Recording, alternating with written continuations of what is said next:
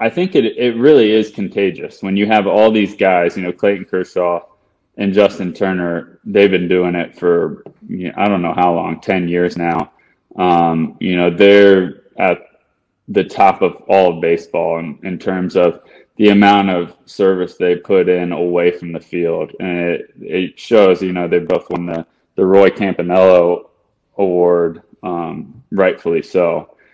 And so when you have these guys to look up to, um, you know, I think it's contagious, and it kind of, you know, I I you're encouraged to follow in their footsteps the best you can. You know, it, it's really tough to live up to the the bar that they've set but um, having those guys around and being able to talk to them and use their guidance uh, definitely helps a lot. And then playing in Los Angeles for the Dodgers, um, best fans in all baseball, uh, that helps as well. We, we have a tremendous influence here, and being able to take advantage of that platform um, is is uh, a very valuable thing, and I don't think should be taken for granted.